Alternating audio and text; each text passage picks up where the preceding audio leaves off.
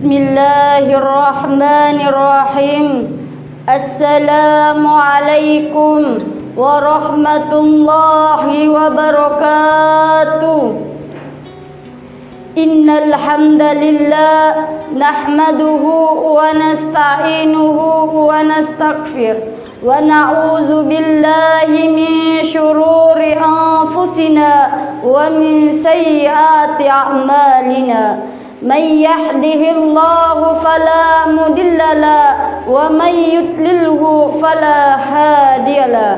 أشهد أن لا إله إلا الله وأشهد أن محمدا عبده ورسوله. لا نبي بعد أما بعد. Pertama-tama, marilah kita panjatkan puja dan puji syukur atas kehadirat Allah Subhanahu wa taala karena dialah Allah yang Maha Pengasih yang tak pilih kasih. Dialah Allah yang Maha Penyayang yang tak pandang sayang.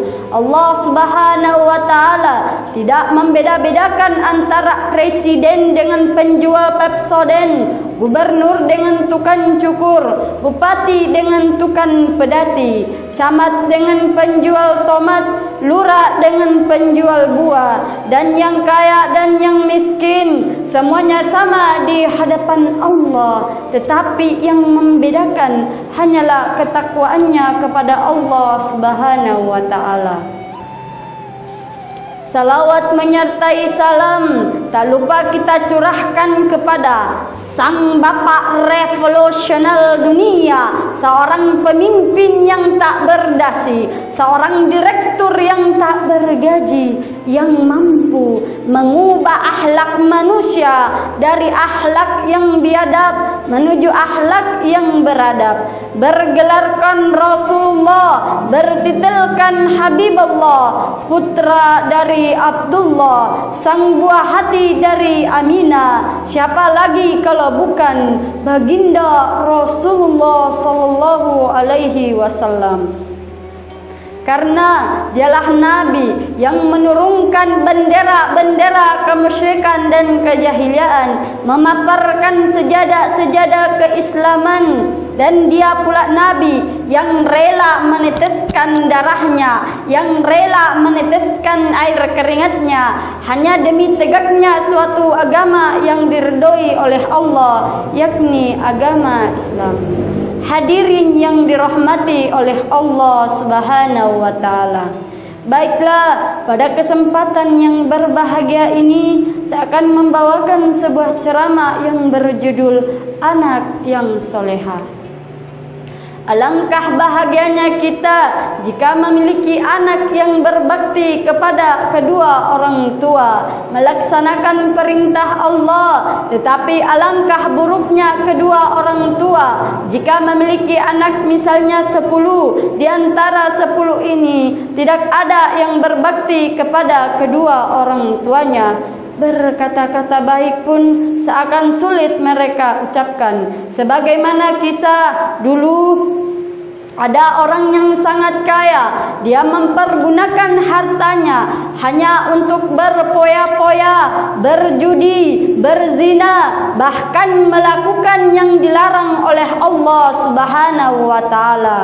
Ketika hartanya habis, dia pun pulang ke rumahnya dalam keadaan marah. Setiba di rumahnya, dia mengusir anaknya dengan berkata, "Pergi kau dari rumah ini. Gara-gara kau tinggal di rumah ini, hartaku jadi habis."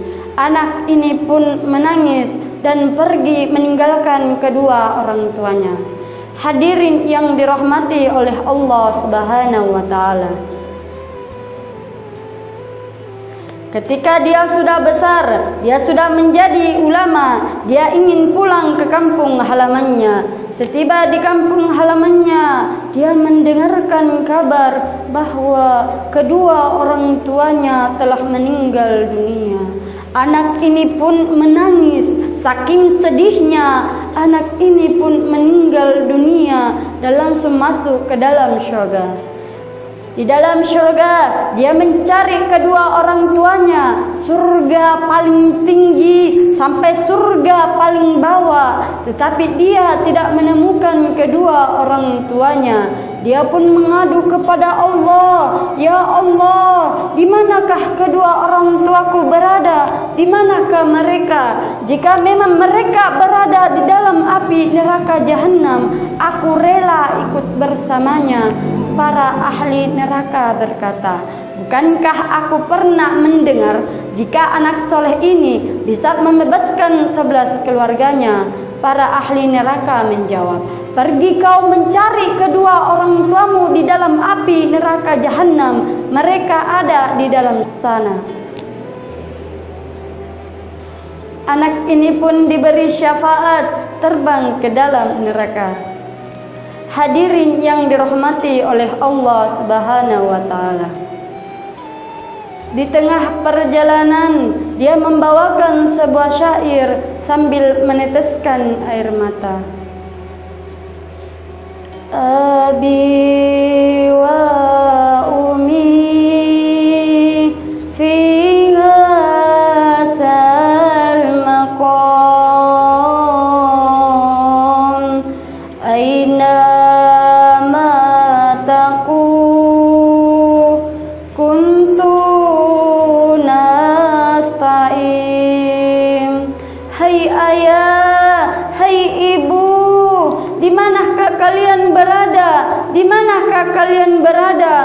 Sangat rindu kepada kalian, rindu. Tetapi kedua orang tuanya tidak mendengarkan syair yang di bawahnya. Lalu anak ini mengulang-ulangi syairnya sampai tiga kali. Abi wa umi